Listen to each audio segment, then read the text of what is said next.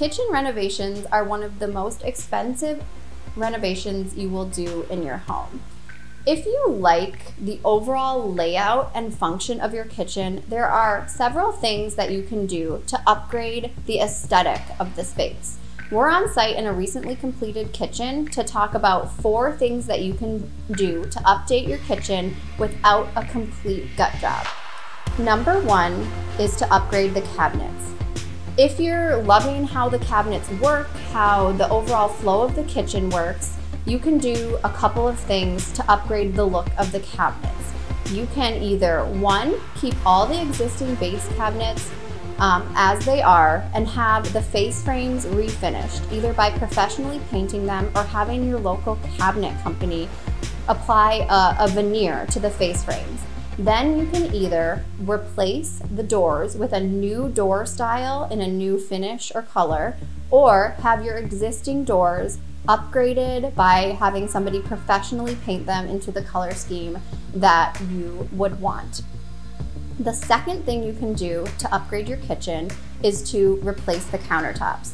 You can go and upgrade some dated finishes like a laminate or a Corian and use a natural stone or quartz to help brighten and modernize the space and still utilize the existing footprint and base cabinets in your kitchen.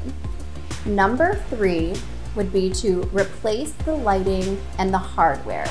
Oftentimes, these are the easiest things to replace and upgrade the feel um, and the and the vibe of the space. So switching out dated pendants or dated chandeliers over your eat-in kitchen space and upgrading your cabinet hardware.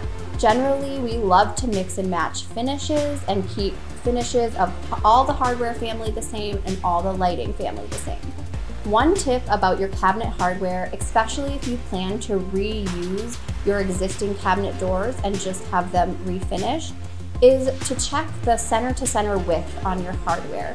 This will often be noted in the specs on, on the online purchase sheet of the hardware that you're looking at.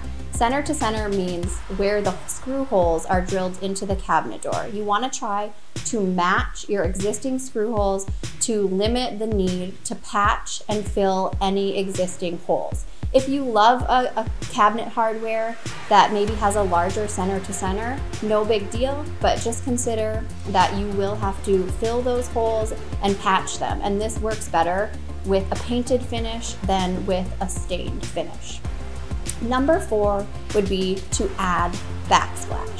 Oftentimes in builder grade kitchens or dated kitchens, the backsplash is unfinished and either has a small edge of the countertop that comes up or no backsplash at all. Adding in a low cost uh, backsplash, such as a subway tile or a colored subway tile with more of a textured finish, is a great way to upgrade the kitchen connect to the countertops and the color scheme that you've created with your upgraded cabinets and overall add a really modern and new look to your kitchen.